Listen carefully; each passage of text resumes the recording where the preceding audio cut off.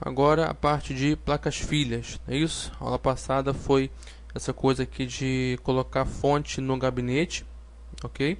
Ah, e fazer a conexão da fonte com a placa-mãe.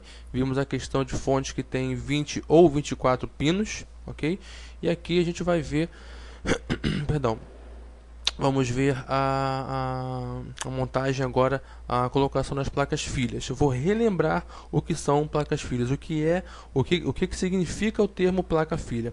É um conjunto, né? O termo placas filhas ele é, ele é, é ele é aplicado, ele é designado a placas como placa de som, placa de vídeo, placa de rede, placa de modem, tá? Por que dessa nomenclatura? Porque são placas né, que são encaixadas na placa mãe. Então por, então, por elas ficarem acopladas à placa mãe, então dá esse, dá -se esse nome genérico de placa filha. Então, é só um nome genérico assim, tá? Não é muito comum, tá? Você ouviu o termo, o termo placa filha, mas enfim, é, ele existe. Se você encontrar por algum canto aí, não fique surpreso. Ele efetivamente existe. Então, seguindo aqui, essa aula também é bem rapidinha, não tem mistério nenhum em colocar essas placas. Eu vou mostrá-las, mostrar alguma, algumas aqui a vocês. Essa placa, ela é uma placa de rede, tá? Você percebe aqui pelo, pelo conector de, de rede RJ45, ok? Uh, aqui nós temos uma placa de rede também, só que é uma placa de rede, é uma, é uma placa PCI de rede ela, ela, ela é uma placa que entra no barramento PCI, por isso ela é PCI, e ela é de rede e rede sem fio. Olha essa antena aqui, ó, tá bom? A placa anterior, ela também era uma placa PCI, ok? É, só que não é de rede sem fio, é uma, é uma placa de rede normal. Aqui ó, vai ter que entrar um cabo, aquele cabinho azul, que às vezes também é cinza, é preto, tá bom? Amarelo, vermelho, maioria azul. Mais uma vez, não se prenda a cores. Quando eu falo azul, eu estou dizendo que a maioria dos cabos de rede são azuis, mas não estou não, não, não dizendo que todos são azuis, ok?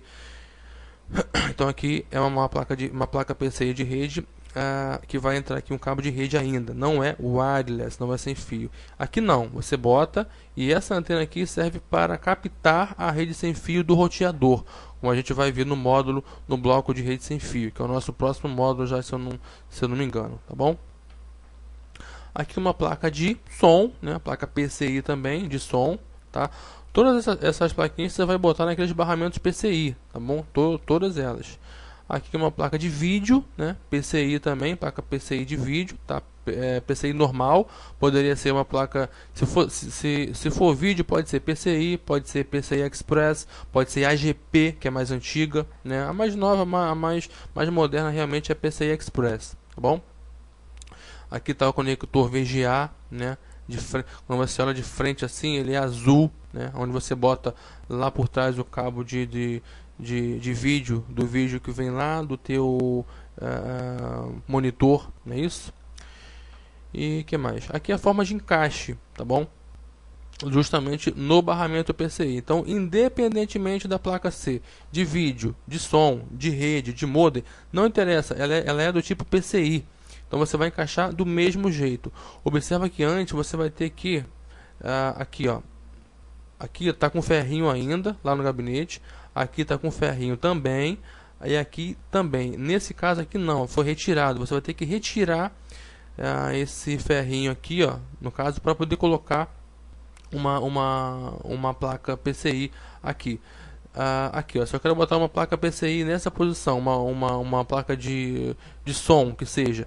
Então eu tenho que primeiro tirar esse esse uh, esse, essa, é, essa tampa metálica, não sei qual é o, qual é o nomezinho melhor para se dar isso aqui, tá? Isso aqui é só, é só você bater por fora, tá? Você vai uh, uh, empurrando vagarosamente, não dá martelada, por favor. Bom, você vai empurrando com jeitinho que ele vai sair. E aí fica o buraquinho. Para quê? Justamente para você aparafusar a placa PCI, ou de rede, ou de som, ou de vídeo, ou de modem, ok? Próximo slide, você tem aí é, uma placa de vídeo né, já conectada aqui. Percebe que essa placa de vídeo ó, tem um, um, um coolerzinho aqui. Ó. Isso sim, efetivamente é um cooler, porque tem um dissipador de alumínio e tem uma ventoinha. Então, o conjunto dissipador e mais ventoinha eu chamo de, uh, de cooler. Tá ok?